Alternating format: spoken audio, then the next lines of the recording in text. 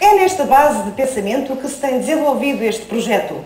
O seu autor é o artista plástico Vitor Lages. Uh, e, portanto, isto talvez seja o princípio uh, de futuros concursos do género e outras exposições, porque o prédio 2009 já está em vigor, a partir do dia 1 de janeiro. Portanto, quem quiser e tenha trabalhos de arte fantástica e cada vez com maior qualidade no sentido de arte fantástica, agradecia se quisessem participar e enviar os seus trabalhos. Uh, portanto, basta-me só agradecer a todos aqueles que participaram, a todas as pessoas presentes e, e à Câmara e a todos aqueles que têm colaborado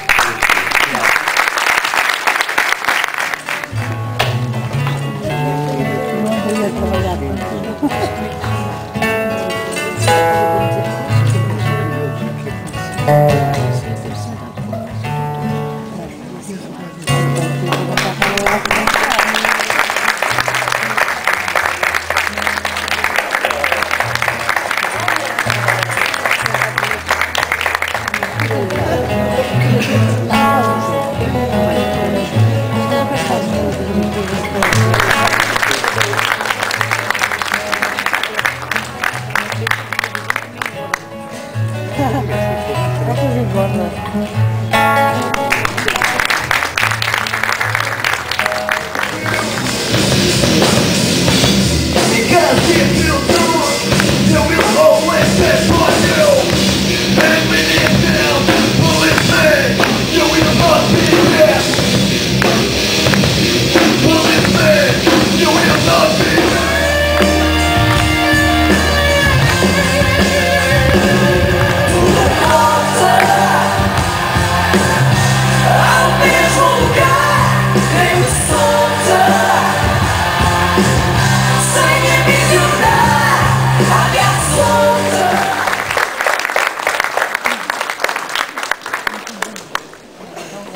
顔してくれるん